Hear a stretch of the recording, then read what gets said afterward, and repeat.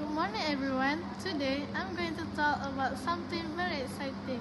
AI or artificial intelligence and how it will change our future. You may have already heard about AI, but do you know what it is? AI is a type of technology that allows machines, like computers or robots, to think and learn like humans. AI is already a big part of our life. For example, when you ask your phone to ask a question and get an answer, that's AI. It can understand what you're saying and give you helpful information. In the future, AI is going to do even more amazing things. It will help make cars that drive by themselves, which means safer roads and fewer accidents. AI will also change how we work.